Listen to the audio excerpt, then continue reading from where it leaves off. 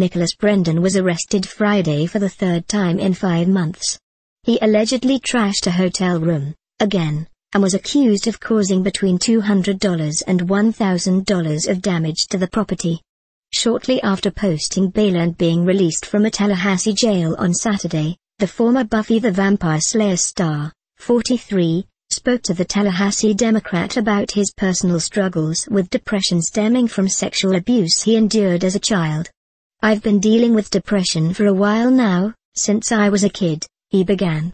I stopped taking my meds a while ago, which was a mistake, and it culminated yesterday into my taking some sleeping pills and then going into a blackout. But a lot of it has to do with my coming to terms with the stuff that I'm having to deal with inside of my head which is not fun, and it's not funny, and people who make fun of it and make light of it, I wish that it doesn't happen to them. But, you know, it's something I'm struggling with. I need to go back to my doctor and talk to him, and try and kind of corral it,